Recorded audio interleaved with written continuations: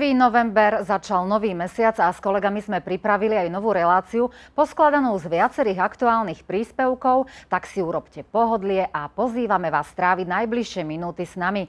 Ja som si ako dekoráciu vybrala takéto krásne chryzantémy, ktoré sú neodmysliteľnou súčasťou jesene a na Slovensku sa práve v týchto dňoch chryzantémy neodmysliteľne spájajú s cintorínmi, pretože katolícky veriaci si práve 1. novembra pripomínajú Sviatok všetkých svetých a 2. novembra pamiatku zosnulých. Preto sú začiatkom novembra cintoríny plné farieb, rozkvitnutých kvetov a rozžiarených sviec a spolu to vytvára takú čarovnú atmosféru, ktorá ohlasuje, že chladné dni sú už pred dverami. A pred nami je aj celé vysielanie s vami a pre vás. Sme radi, že ste si nás našli a ostaňte s nami. Deti sa od útleho veku učia, že chlebík, ktorý máme na stole každý deň, sa musí upiec z múky a múka sa vyrába z obilnín. Aby sme mali dostatok obilnín v budúcom roku, treba sa o to starať už teraz v jeseni. Hoci sú dní kratšie a chladnejšie, poľnohospodári majú plné ruky práce práve kvôli siatiu ozimín. Kolegyňa Zdenka sa vybrala medzi nich, aby zistila, ako sa im darí. Napriek tomu, že je koniec októbra, v Staropazovskom chotári ešte mnohí poľnohospodári neskončili s jesennou sejbou. Či je to neskoro a ktoré sú optimálne lehoty, dozvedáme sa od mojej spolubesedničky agronomky Marky Hricovej. Áno, máte pravdu. Optimálna liehota znamená pre sejbu pšenici od 5. do 25. oktobra a my sa nachádzame na konci, znamená tej optimálnej liehoty. Medzi tým pozrieť po chotári vôbec Pazovskom máme veľmi málo zasiatých ploch, zdá sa mi takých 40 maximálne. Medzi tým, e, ďakujúc čomu je toto, za to, že sme mali v oktobri takých 80 litrov dažďu a priemer viacročný je takých 50 litrov. Znamená, čím padne dáž, nemôže, nemôže sa vôbec pracovať, ani tá predsetená príprema, ani sejba, ani nič, musí sa pár dní čakať, aj znamená, na tom sa stratilo dosť času. Medzi tým, znamená, keď sa takéto pekné dní, na čím využívať e, ešte čas, aby sa tá práca urobila, aby sa tie plochy, ktoré sú e, plán, zaplánované, zasiali. A, ak e, sa veľmi vzdialíme od tejto optimálnej lehote, način zväčšiť trochu normu semena za takých 10%, ak je to 10 dní pozdejšie. Ak je táto predsetená príprema trochu zlá, tak tiež način takých pár percent dať viac semenia. A čo je dôležité, način uh, urobiť to váľania uh, tejto zasiatej uh, plochy, aby sme pomohli tej pšenici, že by vyklíčila istovremeno, aj že by ľahšie vyšla. To, čo sa teraz robí na pozemkoch staropazovského napredka, teda pripravujete pozemok pre sejbu. Nejde pluh, ale ide e, táto redukovaná obrada, čo vravíme, to sú tanirače, ktoré znamená dva alebo trikrát e, prejdu, aby zjednodušili e, ten, ten proces prípravy toho pozemku. Lebo tu na vlastne vidíme pozostatky kukurice a je to jeden spôsob vlastne aj prihnojovania a obohacovania zeme. Normálne, normálne. Naše všetky parcely vôbec e, e, sú oveľa chudobnejšie za, za tieto orgánske hnojiva. E, veľmi málo je toho statku, potom sa veľmi málo dáva toho stajňaku a veľmi chýba tá orgánska matéria v, tomto, v tej pôde tak e, znamená na čím na ten spôsob aj obohacovať e, tú pôdu s tou, s tou orgánskou matériou. Je to aj vaša rada poľnohospodárom a zároveň aj možno rada, či majú byť nervózni z toho, že nestačili si zakončiť jesenné práce, alebo ešte stále nie je neskoro výjsť do poľa a zasieť pšenicu. Ešte stále nie neskoro, znamená len treba pracovať, maximálne využívať tento pekný čas a urobiť to. Stávalo sa, že sa sialo e, aj v novembri, aj koncom novembra, ak to e, počasie vyhovuje e, pozdejšie tam, tá pšenica keď vyjde, je to v poriadku.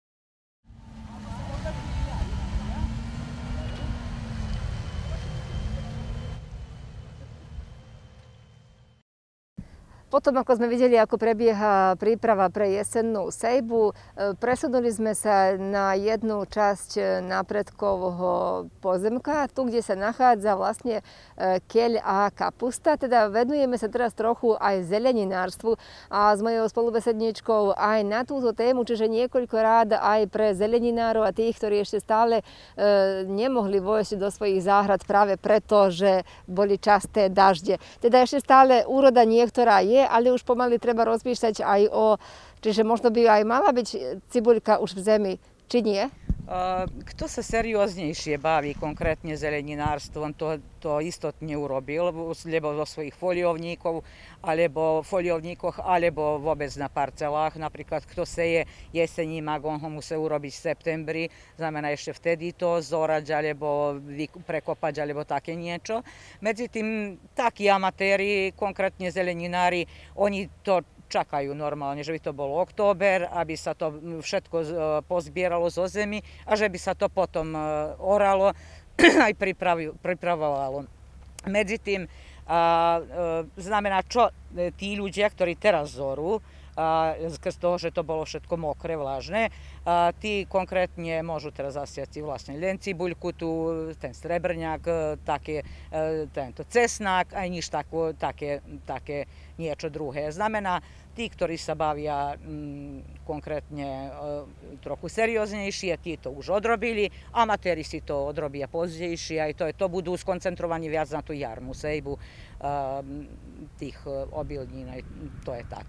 U nás teraz konkrétne znamená napredku na tejto časti parcele máme ešte papriku, ktorú zhadzujeme a mm, aj znamená dneska zajtra to sa má zakončiť. Paradajky sme mali do, do neskoro, aj to sme, teraz je to vytarupirané. A, a znamená, zostáva nám táto čiastka, kde máme keľ, karfiol, brokoli, aj, aj kapustu. A, dobre, to je aj postrná setva, lebo je to po, znamená posiate posle pšenici vlastne neposiate, ale presadené. A to sa aj očakávalo, že sa teraz bude zberať. Normálne to potrvá aj, aj dlhšie, konkrétne zdá sa mi do, do konca novembra. Aj potom sa to bude orať, ale na túto parcelu sa nebude siať e, potom nejaká zelenina, ale bude nejaká druhá úroda, čo sa týka ratárstva. Veríme, že aj tí, ktorí sa zaoberajú aj ochotnícky zeleninárstvom, poznajú niektoré pravidlá. A či by ste ešte chceli poradiť, napríklad e, po zbere úrody e, zostáva veľa tej vňate, zostáva veľa listov. E, čo s tým robiť? Niekto to páli, niekto vyhadzuje do smetí. Či možno aj to využiť ako prihnojovanie prirodzené? Áno, vo svete sa to používa ako to zelenišno ďubrivo. Konkrétne ľudia si robia také kompostéry a znášajú si tú zelenú vňač aj také, pa striedajú suché a zelené, e, vlažné, aj potom sa to, to prehnie, aj na idúci rok sa to môže používať ako, ako hnojivo. Znamená, na ten spôsob by sme sa aj my mali e, toho, toho riešavať. Bolo by to oveľa ľahšie, ako čo by sa pálilo. Konkrétne túto my to nebudeme môcť robiť, masa táto všetka, to sa vyseká, gro a ti listi sa, e, visekaju, ovaj i se zaoru. Znamena, mi to njemame gdje s tim i znamena, ten list dostava ako vidite tu je sekani ten to kakelj, a, hlavka odišla, ti je to listi zostanu tu, kim, kim se nje priđe do to oranja, ke priđe do oranje to sa e, zaorje, Konkretno v tih listah je to sumporu, je to kalijumu, to je vel, velmi dobra e, prihrana za, za tu zemlju. Ďakujem veľmi pekne za všetky tieto rady. Teda teší nás, ak sme aspoň šťastí, ak sa nám aspoň šťastí podarilo vlastne poradiť tak poľnohospodárom, ako aj zeleninárom, ako a čo robiť ku koncu týchto jesenných dní. Keď som pred dvoma týždňami pripravovala túto reláciu, mala som v štúdiu v kresle hostia Alexandra Baka a hovorili sme o divadelnom predstavení Všetko o ženách, ktoré pán Bako režiruje v rámci ochotníckého divadla Mirko Tatalovič Tira. Ku koncu rozhovoru spomínal, že sa s touto hrou chystajú na festival do Malého Crniča. Išlo o 49. ročník festivalu vidieckých dramatických ochotníkov Srbska. Festival sa už skončil a počuli ste o výsledkoch. Spomínané predstavenie získalo prvé miesto. Srdečne gratulujeme, ale tu gratulácie nekončia. Patrí im aj prvé miesto za za najkrajšiu scénografiu a kostým, za najlepšiu réžiu a jedna z herečiek z Novej Pazovy, Bojana Uroševičová, bola vyhlásená za najlepšiu herečku festivalu. Ešte raz veľká gratulácia a veľa elánu a úspechov do ďalšej práce. Dnes som už spomínala, že dni sa skracujú a sú chladnejšie a mnohí staropazovčania sa v jeseni zaoberajú rovnakými prácami. Zbierajú úrodu, pečú papriku, odkladajú kvety z terasy niekam dnu, plnia si špajsky a jednou z posledných prác je, ako sa tu povie, kyslenie alebo kyselenie kapusty. Ďalší príspevok ponúkame práve o tejto téme.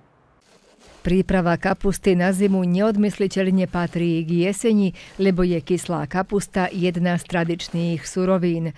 Naložiť si súdok kyslej kapusty je dlhoročný zvyk a tak je to aj v rodine Balážovej v Starej Pazove, kde sa Katarína dodržiava starého receptu, ktorý zdedila po svojich rodičoch. Kapustu očistíme to, čo, čo je špinavé, vysekneme tie korenje. Do, do toho gdje sme vysekali korenje položíme e, sol, korenja, hrube korenja, rost, a i po voľakeri list e, lovoru položím, tak aby bolo krz chuti. Potom len zostáva nakladať kapustu do väčšej nádoby. Prvo drobnú, nareseľovanú kapustu, potom to potlačíme, že by sa dobre, dobre ubila. Potom kladieme hlávke, poplníme zastou, čo, čo nareselujeme kapustu s tou drobnou kapustou, aj tak, dokým ne, nepotrovíme všetko, čo máme prichystané. Je to na prvý pohľad veľa práce okolo prípravy a naša spolubesednička každoročne nakladá vyše 100 kg, aby bolo pre celú rodinu. Najviac času zoberie to, kým sa prichystá a potom už skladanie, to už nie tak ťažko. Aj toto ka reseľovanie, to je najťažšie. To mne nikdy neišlo od ruky, tak to robil v svojom čase môj manžel a teraz moja dcera mi pomáha. V priebehu 20 dní, čo závisí od teploty v miestnosti, kde sa nachádza, kapusta vykysne a potom sa môže podávať na rozličné spôsoby. Táto zelenina sa teraz predáva 25 až 30 dinárov kilogram a staropazovčania ju kupujú a nakladajú vo veľkých množstvách. Kyslá kapusta je vitamínovou bombou pre zdravie a dokáže významne posilniť obrany schopnosť organizmu a chrániť pred ochoreniami až do jary.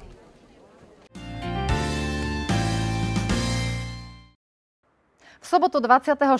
októbra sa v Srbsku konali dve zaujímavé kultúrne podujatia, ktoré majú jedno spojitko. Najskôr spomeniem, že v Belehrade sa konal 18. ročník festivalu satíry a humoru s názvom Satira Fest a cenu Zlatý kruh za prínos v oblasti satirickej literatúry vo svete získal slovenský spisovateľ Tomáš Janovic.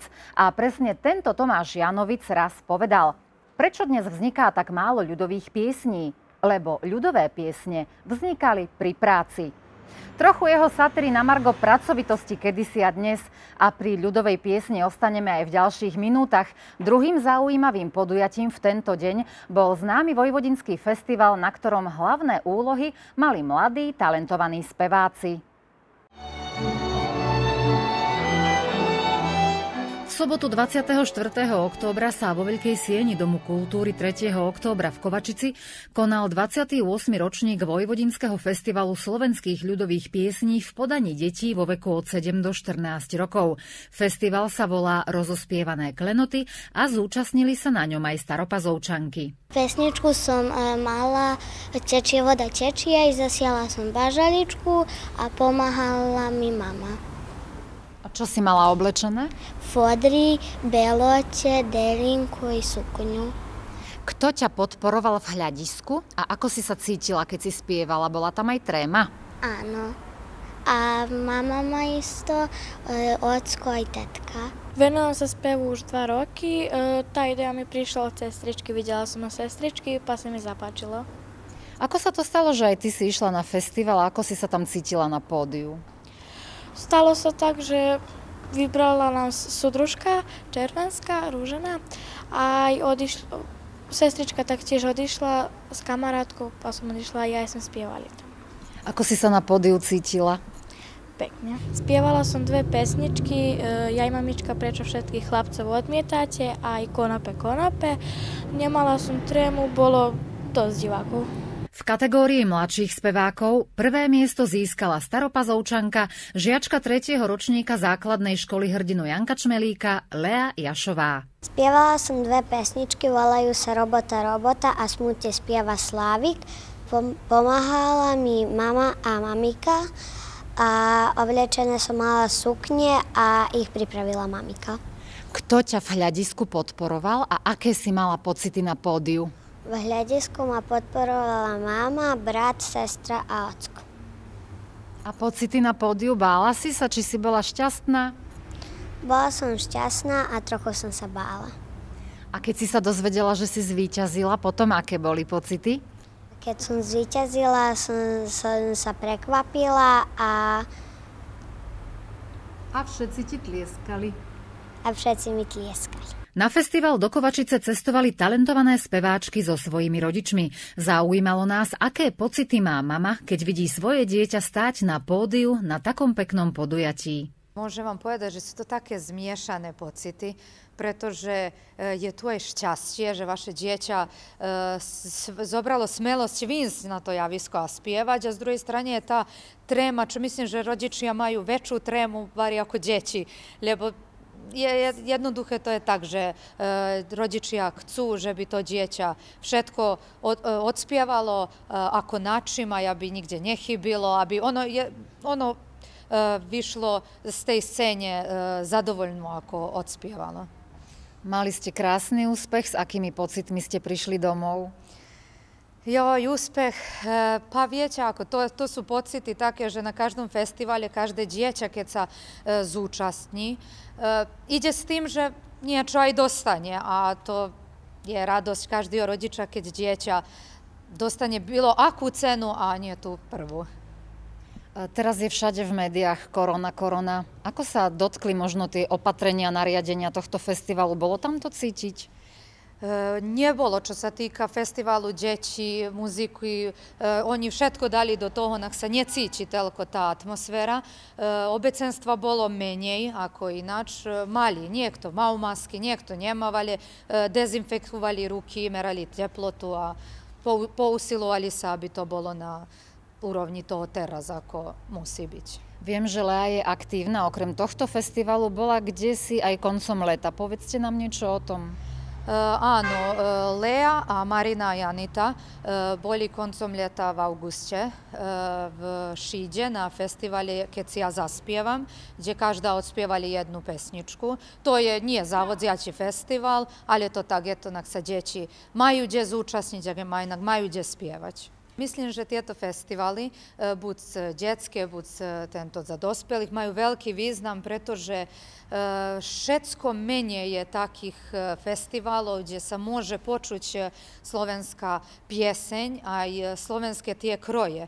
Takže mislim, že bi e, všetci mali si troška dať do toho, že nak podporia tie svoje deti, keď vidia, že chcú. A myslíme aj my rodičia v tom byť, ako nak poviem, úporní, aby oni to, to mali rád. Spjevać, buď stancuvać, buď recitovać, čo, čo god. A teraz vás pozývame na súkromný mini festival. Špeciálne pre našich divákov zaspievajú Anita Bogdanovičová, Lea Jašová a Marína Bogdanovičová. Tečie voda, tečie okolo javora, žiaden človek nevie, kde ja mám frajera. Žiaden to nevie, ja ani moja mati, za ktorým šuhajkom moje srdce letí. Žiaden to nevie, aj ani moja mati, za ktorým šuhajkom moje srdce letí. Žiaden človek nevie, ani neuhádne, za ktorým šúhajkom moje srdce vedne. Rúža trojaka, nemilujte vojaka, Vojak narukuje, dievča obanuje. Rúža trojaka, nemilujte vojaka. Vojak narukuje, dievča obanuje. Milý narukúval na tú vojenčinu. A mňa tu zanáhal samotnú dievčinu. Ach, ja samotná, jaj čo si mám počati, či ho ja mám za ten rok aj pol čakati. Ach, ja samotná, jaj čo si mám počati, či ho ja mám za ten rok aj pol čakati. Robota, robota, na každý deň ťa mám. Nechce sa mi robiť, kým si nezaspievam. Spievala by som tenko, len ma bolí hrdielko. Počul by ma milý, ale je ďaleko. Spievala by som tenko, len ma bolí hrdielko. Počul by ma milý, ale je ďaleko. Zaspievaj slavičku v zelenom hajíčku. A ja si zaspievam, idúc na trávičku. Trávička je zelená, tá tam, kde ja chodievam.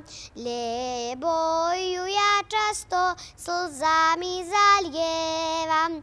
Trávička je zelená, tá tam, kde ja chodievam, lebo ju ja často slzami zalievam. Spievaj, dievča, spievaj, budem ťa počúvať. Ak sa mi zapáči, budem k vám chodievať. Zaspievaj si, dievčatko, takú veselú pieseň, čo si ju spievala celú Božiu jeseň. Zaspievaj si, dievčatko, takú veselú pieseň, čo si ju spievala celú Božiu jeseň. Jaj, mamička, prečo všetkých chlapcov odmietate? Akýže to má byť šuhaj, ktorý mu má dáte? Mladý muž má ženu rád, čierne očka musí mať. Radšej mladší ako starší, lebo sa mi páči. Mladý muž má ženu rád, čierne očka musí mať. Radšej mladší ako starší, lebo sa mi páči. Zasvietila, zasvietila nad pázovou hviezda a zdá sa ti, môj šúhajko, moja láska nezdá. Ja ťa verne milujem, nikomu to nepoviem. Ani tej mojej materi, že len tvoja budem. Ja ťa verne milujem, nikomu to nepoviem. Ani tej mojej materi, že len tvoja budem. Dobre mi je, dobre mi je u mamičky mojej, akože mi, ako bude milý moju tvojej. U tej mojej mamičky vínečko popíjajú a u tvojej šuhajčku vodičku núkajú. U tej mojej mamičky vínečko popíjajú a u tvojej šuhajčku vodičku núkajú.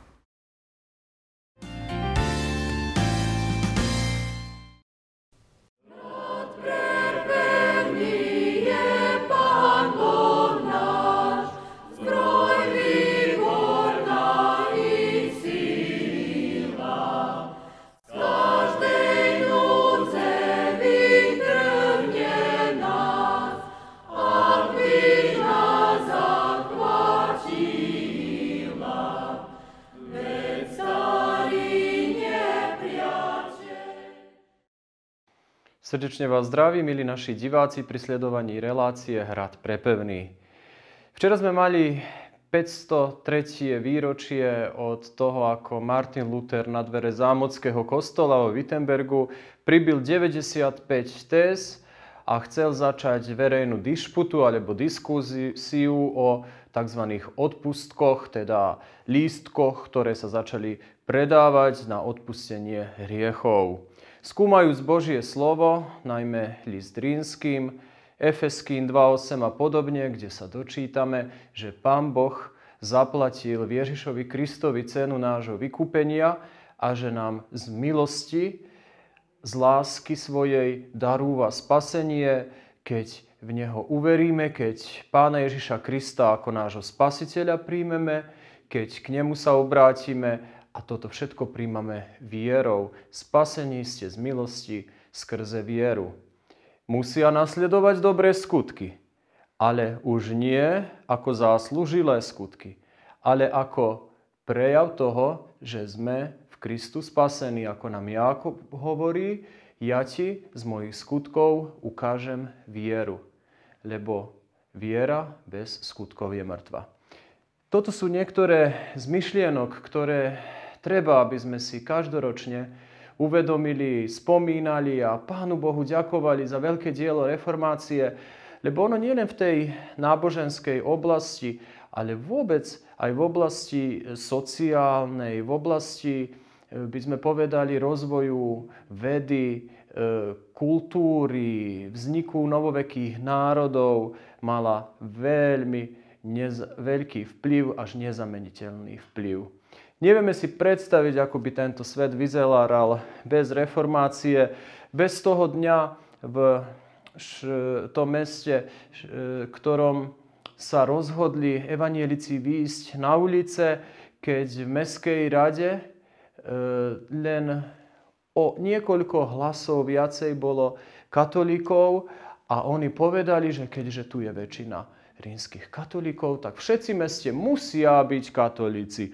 Vtedy naši tí predchodcovia vo viere vyšli na ulice a protestovali, trošku si povieme aj o tomto výraze, a povedali raz navždy, až dodnes to platí, že v otázkach viery, aj nevery pridajme, a svedomia nerozhoduje väčšina. Teda začína vznikať to, čo Luther volá e, ríša svetská, my dnes to voláme civilná spoločnosť, občianská spoločnosť. E, dnes je to veľmi paradoxne, keď na škole vám ponúkajú občianstvo a náboženstvo. A tu je evanilické náboženstvo.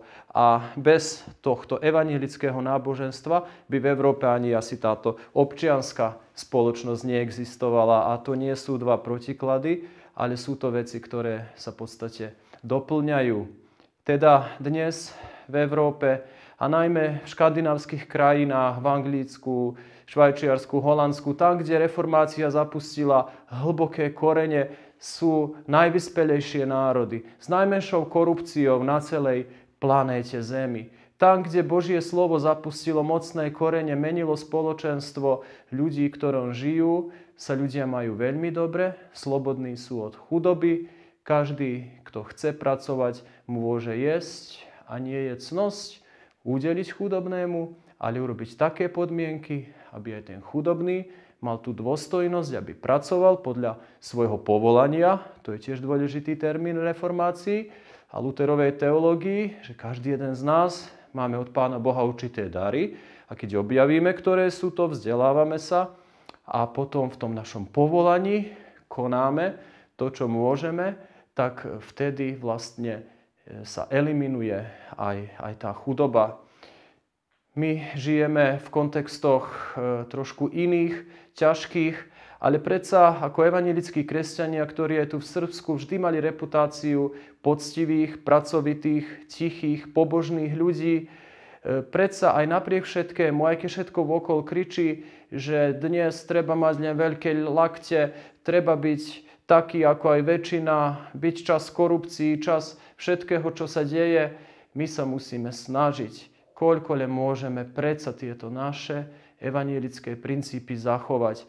teda snažiť sa žiť život v pracovitosti, spravodlivosti, v úcte k iným, v tolerancii a v budovaní sveta, v ktorom pre každého je dosť miesta. Ja by som vám ešte k tejto téme reformácia pridal aj to, že na fare máme ešte tieto krásne výtlačky, ktoré e, sme chystali s katechétkou, profesorkou Slovenčiny Anou Šilerovou a ešte s ďalšími spolupracovníkmi a najmä so žiakmi, ktoré chodia na evanielické náboženstvo. Je to v podstate o Martinovi Luterovi, o jeho živote. Máme to po slovensky a máme to aj po srbsky. V tejto maličkej brožúrke sa dozvedáme zaujímavé veci. Jedna z nich je už spomenutý dátum 31. októbra 1517. Tu sú tie dvere Wittenberského chrámu, na ktoré Luther pribil 95 téz. Tu nás sa hovorí aj o Filipovi Melanchtonovi, veľkom humanistovi a evanielikovi, ktorý bol e, taký spolupracovník najbližší Lutera. A v dejinách sa hovorí, v dejinách reformácie, že Luther bol ako človek, ktorý orie, ktorý e, zabáda hlboké, hlboko brázdy, a potom po ňom prichádza Melanchthon, ktorý má také hrabličky a ktorý to hrabličkuje. Podobá sa vám toto na úpravu našich záhrad a tak je to aj v tej duchovnej oblasti. Teda Luther bol rázny. Jeho slova sú niekedy veľmi, e, by sme povedali, aj oštré, ostré. A Melanchthon zjemňoval. Melanchthon hľadal cestu e, spolupráce aj s katolickou církvou, aj s inými protestantskými skupinami. A dodnes vieme, že aj tieto iné církvy, najmä rímskokatolická církev, aj pod vplyvom reformácie sme presvedčení sa lepšie, k lepšiemu tiež zmenila. Už aj rímskokatolíckej církvi sa dáva dôraz aj na Božie slovo, aj na zapojenie e, tzv. laikov, ľudí e, do, do církevného života, ale nie v takej miere ako v našej církvi. Potom ďalej tu máme Luther ako mních, môžete si prečítať o tom. Luther a Biblia. Luther preložil Sveté písmo, on bol profesor najmä starej zmluvy na Wittenbergskej univerzite a prekladal aj novú zmluvu. A v Nemecku okrem toho, že dal ľuďom Bibliu do rúk, dal základy spisovného dnešného nemeckého jazyka. A to isté sa dialo prekladom Biblie aj v iných národoch. Koľko dobra urobila kralická Biblia v našom národe. Spomeňme si na Primorža Trubára v Slovensku, reformátora, ktorý dal základy slovenského spisovného jazyka a tiež bol reformátor. E, dodnes máme v Slovensku v prekomúrskej oblasti okolo 20 tisíc slovincov, evanielikov. Potom sa tu dozvediete, prečo sa my voláme Slovenská evanielická podľa augsburského vierovýznania církev. Veľmi dôležitá téma, lebo mnohí nás obvinujú zo všeličoho a keď si len začítame do augsburského vierovýznania, zistíme, že naša církev môže naozaj povedať, že je pravou církvou Kristovou, lebo v nej sa slovo Božie čisto a úprimne káže a tieto sviatosti sa prisluhujú tak, ako to povedal a ustanovil sám Pán Ježiš Kristus. Tu je opísaná Luterová rúža. E, každá jedna časť z nej, každá jedna farba, čo to znamená pre nás. Luther sa oženil s Katarínou von Bora. Je zaujímavé, že nové štúdie hovoria, že ona bola srbka, teda lužická srbka. Aj o Luterovi sa hovorí, e, že v podstate asi mal aj, aj zo slovanskej krvi. Luther bol veľký hudobník, napísal aj na základe 46.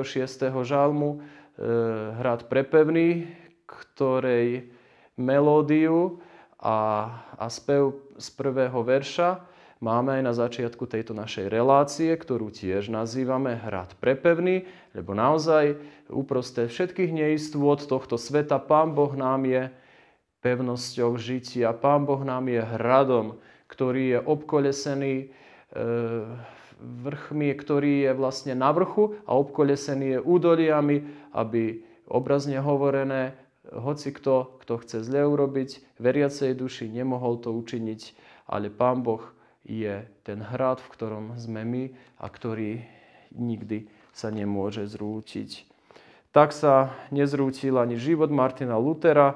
Na konci svojho života Martin Luther vyznal, že zostáva v tej viere, ktorú vyznal pred ľuďmi a že vlastne všetko to, čo písal, učil, bolo na základe Božieho slova. E, bolo tak, také, aké by malo byť pre služobníka Božieho a preto si dnes spomíname aj na neho. Pán Ježiš Kristus jasne povedal svojim učeníkom a aj všetkým ľuďom, ktorí ho chcú nasledovať v každom čase. Povedal slova, ak zostanete v mojom slove, budete moji učeníci.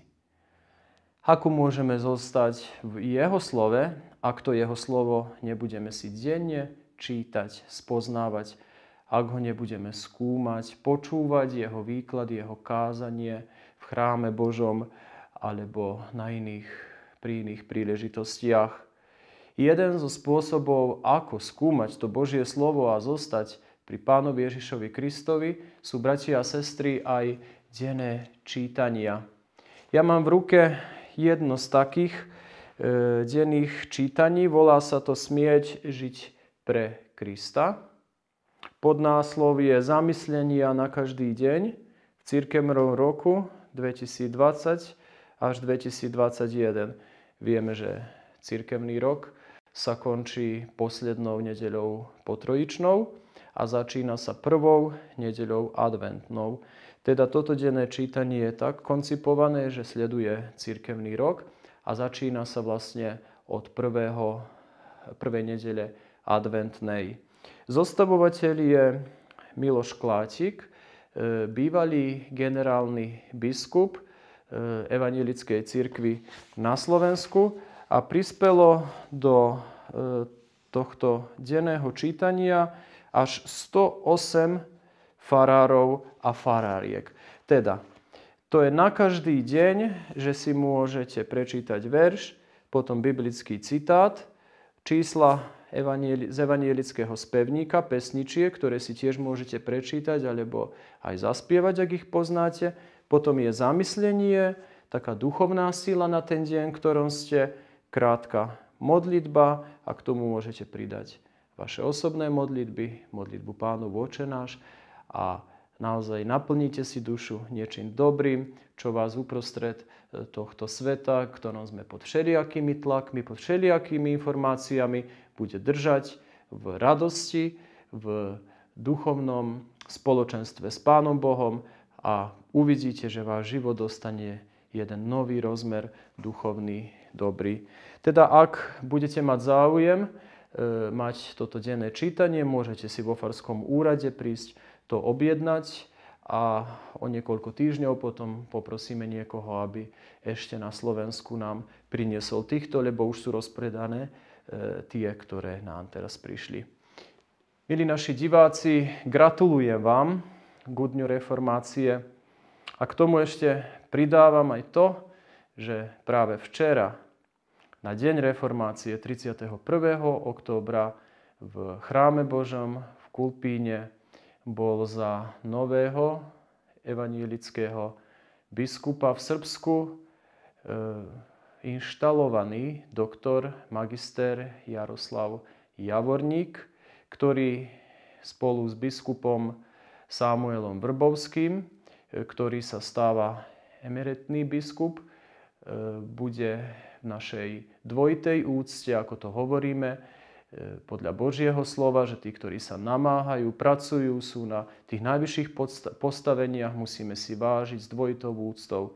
Teda máme nového, dôstojného pána biskupa Jaroslava Javorníka a modlíme sa, aby mu Pán Boh dal múdrosti, trpezlivosti a lásky, aby spolu aj s cirkevnými inými predstaviteľmi, najmä s našim synodálnym dozorcom, synodálnym prezbiterstvom, synodou, inými grémiami, viedol našu církev, túto Božiu loďku uprostred rozbúreného mora tejto realite, ktorej žijeme.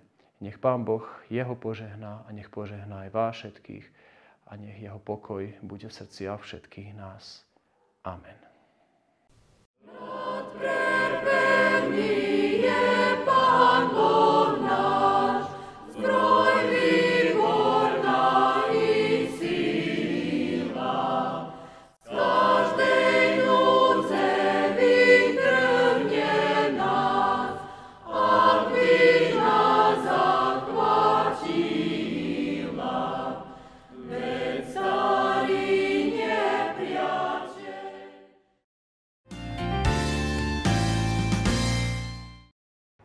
Tradične hrad Prepevný dáva bodku za našim vysielaním. Sme radi, že ste následovali až do tejto chvíle a dovolte mám tu pre vás ešte dve kultúrne pozvánky na tieto dni. Dávame vám do pozornosti koncert komorného orchestra Gudači Svetok Ďorďa, ktorý sa uskutoční práve dnes 1. novembra o 20. hodine v divadelnej sále v Starej Pazove a vstup je voľný. A druhá pozvánka je na zajtra, 2. novembra o 19.